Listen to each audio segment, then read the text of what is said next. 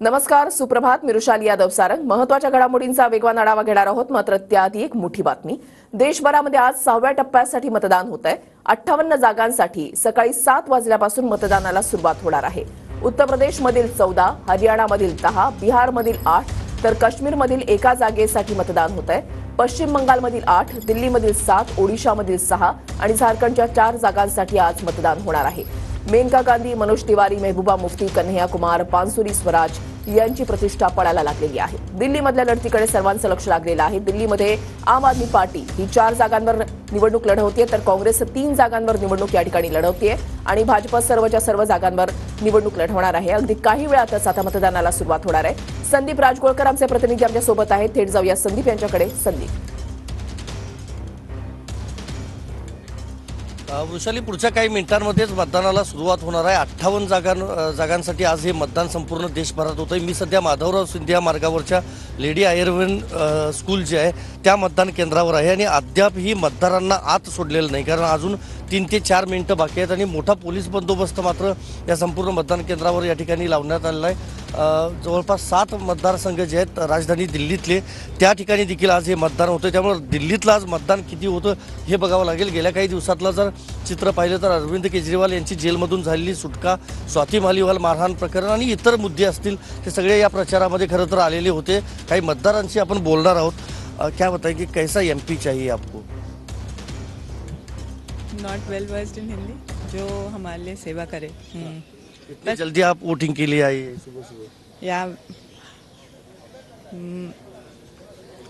आप क्या बताएँगे? नहीं कुछ नहीं। आपण पाहतोय अ, काही मत कैसा एम पी चाहिए आपको?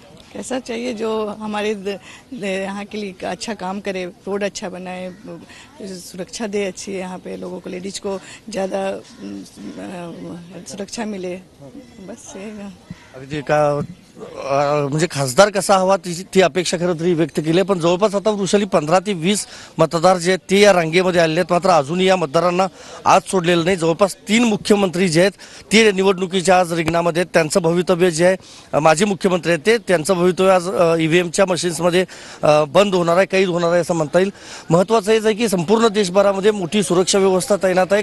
द- दिल्लीतल्या देखील सगळ्याच मतदान केंद्रावर अशा पद्धतीनं सुरक्षा तैनात आहे. आणि साधारणतः सात वाजता किंवा सात वाजून एक मिनिटांनी जे सगळे मतदार आहेत त्या सगळ्या मतदारांना मतदान केंद्रामध्ये आत सोडलं जाईल आणि त्यानंतर हे सगळे मतदार जे आहेत ते मतदानाचा हक्क बजावतील. वृषाली. नक्कीच संदीप तुम्ही असंच आपल्यासोबत राहा. तर मतदान केंद्राच्या बाहेर आता गर्दी व्हायला सुरुवात झालेली आहे. मेनका गांधी मनोज तिवारी कन्हैया कुमार आणि बांसुरी स्वराज निवडणुकीच्या मैदानामध्ये उतरलेले आहेत. त्यांचं भवितव्य पडायला लागलेलं आहे. भारत एक विकसित भारत एक सशक्त भारत के निर्माण के लिए अपना मतदान करिए. धन्यवाद. तर युपीमध्ये सर्वाधिक चौदा जागांसाठी आज मतदान पार पडतंय. पश्चिम बंगालमध्ये आठ दिल्लीमधल्या लढतीकडे सर्वांचं लक्ष लागलेलं आहे. दिल्लीमध्ये सात जागा आहेत. सर्वच्या सर्व जागांवर आज मतदान या ठिकाणी पार पडत आहे देशभरामध्ये आज सहाव्या टप्प्यासाठी मतदान होत आहे प्रमुख लढती आपण या ठिकाणी पाहताय. उत्तर पूर्व दिल्ली मनोज तिवारी भाजपकडून कन्हैया कुमार आहेत त्यांच्या विरोधात. ही टफ फाईट जी आहे ती बोलली जाते कन्हैया कुमार काँग्रेसकडून निवडणुकीच्या रिंगणामध्ये उतरलेले आहेत. भाजपकडून मनोज तिवारी यांच्यामध्ये लढत पाहायला मिळते यानंतर नवी दिल्ली बांसुरी स्वराज सुषमा स्वराज यांच्या कन्या भाजपकडून त्याच्यानंतर आम आदमी पक्षाकडून सोमनाथ भारती निवडणुकीच्या रिंगणामध्ये आहेत. भाजप विरुद्ध आप.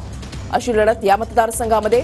तर दक्षिण दिल्लीमध्ये सुद्धा अशीच लढत पाहायला मिळते. भाजपकडून रामवीर सिंह बिधुरी आणि आम आदमी पक्षाकडून साही राव यांच्यामध्ये लढत पाहायला मिळते यानंतर पश्चिम दिल्ली भाजपकडून कमलजीत सेहरावत आणि आम आदमी पक्षाकडून महाबल मिश्रा.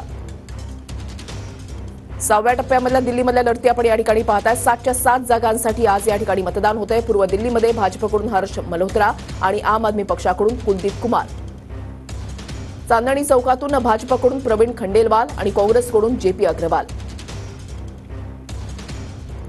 चार जागांवर आम आदमी पक्ष आणि तीन जागांवर काँग्रेस या ठिकाणी निवडणुकीच्या रिंगणामध्ये आहे. उत्तर पश्चिम दिल्ली भाजपकडून योगेंद्र चांदोलिया आणि काँग्रेसकडून उदित राज.